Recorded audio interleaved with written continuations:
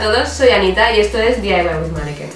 He de deciros que es la segunda vez que grabo este vídeo porque lo he grabado entero, pero no estaba enfocado. Pero bueno, es igual, así que lo grabo otra vez. Hoy quiero intentar empezar con una nueva sección que me ronda la cabeza desde hace mucho tiempo. Lo que quiero es crear una especie de directorio de tejidos.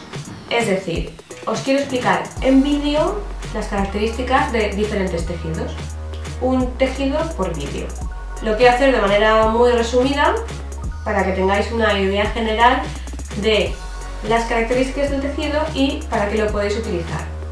Y para que os comáis un poco la cabeza y utilizarlo en cosas que no es lo típico. He de decir que mm, no puedo fruncir el ceño porque si no tengo una amiga que me mata cada vez que me ve con el ceño fruncido. Pero bueno, he de decir que no soy ninguna experta en tejidos, ir explicando los tejidos que más conozco y que más me gustan y poco a poco ir añadiendo nuevos tejidos que no conozco tanto y así vamos aprendiendo juntas. ¿Qué os parece? Empezaremos el directorio de tejidos con un tejido que la verdad es que me encanta, que es el tweed. Y ahora que por fin ha entrado el invierno, pues hasta nos viene bien. El tweed es un tejido que me parece súper versátil y además me parece muy, muy elegante. Empezamos con las características principales. ¿Qué es el tweed? Es un tejido de lana áspera, cálido y resistente. Ventajas. Es un tejido muy fácil de coser, es muy duradero y es resistente al agua por la pelusilla que se crea en la superficie del tejido. Otra ventaja.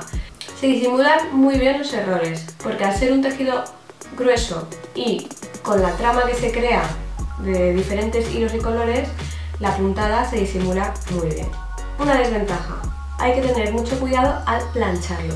No lo podéis planchar directamente por si se quema o lo que sea, pero bueno, esto pasa en general para mí con todos los tejidos. Yo todos los tejidos los, los plancho con un pañuelo encima o con un trapo fino o algo así, con algo encima, para que no se estropee el tejido. ¿Para qué se suele utilizar? A ver, debido al grosor del tejido y a su composición, que es lana al final, se suele utilizar para prendas de abrigo. Es la aplicación general. Empezó utilizándose en prendas de hombre sobre todo, en chaquetas, chaquetas de hombre, pero gracias a Chanel lo pudimos ver por primera vez en vestidos, chaquetas así de mujer y faldas. Y además lo pudimos ver también en colores más vivos. El tweed solía ser siempre en colores tierra, marrones, verdes oscuros, negros, colores muy muy oscuros. Y gracias a Chanel pues empezaron a ser un poco más vivos. Seguro que tenéis en mente la típica chaqueta Chanel, ¿vale? La típica chaqueta chanelera y esta chaqueta está hecha con tweed, por si, para que os hagáis una idea de lo que es el material. Aquí os eh, puedo enseñar un retal de tweed que tengo en casa, que aunque no lo podáis tocar, os podéis hacer una idea de cómo es el tejido.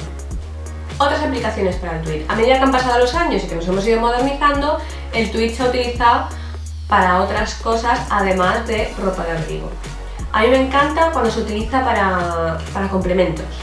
Bolsos, eh, fundas para tablet y móvil, incluso fundas para el ordenador. Me encanta sobre todo cuando está presente en zapatillas, cuando las zapatillas están hechas con tweed, que podríamos hacer un DIY de esto, que es bastante fácil.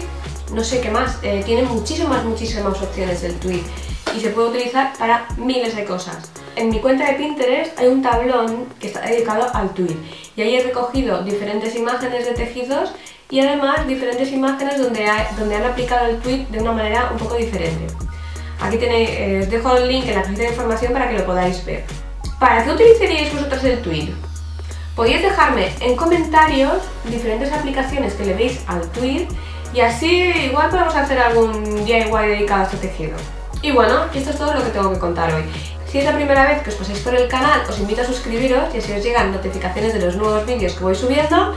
Seguidme en todas las redes sociales, que como os he dicho en el vídeo anterior, las que más utilizo son Instagram y Facebook. Todo esto os lo dejo en la cajita de información. Y sobre todo, dadle un like al vídeo si os gustan este tipo de vídeos para yo poder continuar grabando este directorio de tejidos que os quiero enseñar. Un beso y hasta el próximo vídeo.